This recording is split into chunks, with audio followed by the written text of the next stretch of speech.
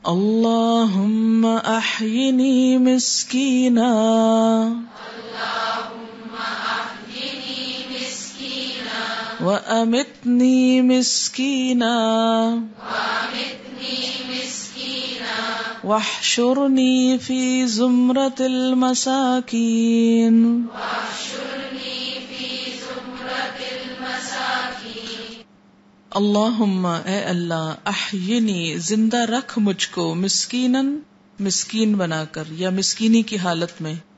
وہ امتنی اور موت دے مجھ کو مسکینن مسکینی کی حالت میں۔ وحشرنی اور اکٹھا کر مجھ کو فی زمرت المساکین مسکینوں کے گروہ میں۔ اللہ، زندہ رکھ مجھ کو مسکین کر کے موت دے مجھ کو مسکینی میں اور اٹھانا مجھ کو مسکینوں کی جماعت میں۔ یہ دراصل انسان کی آجزی کی علامت ہے۔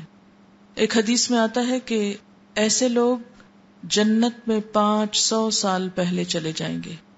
ان لوگوں کی نسبت جو دنیا میں بڑے بن کر رہتے ہیں۔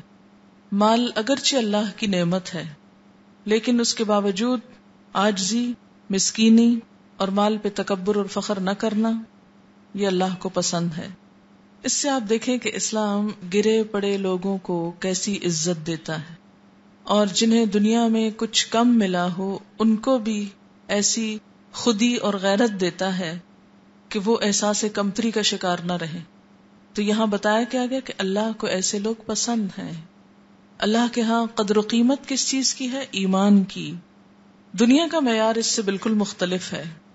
دنیا میں اس شخص کی عزت نہیں جس کے پاس کچھ نہیں۔ لیکن اللہ کے ہاں اگر ایمان ہے تو وہ بڑے بڑوں سے بڑا ہے۔ تو یہ مسکینی کی دعا دراصل آجزی کی دعا ہے۔ اللہ احینی مسکینا۔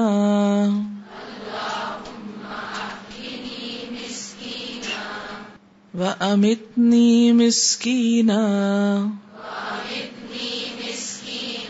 واحشرني في زمرة المساكين.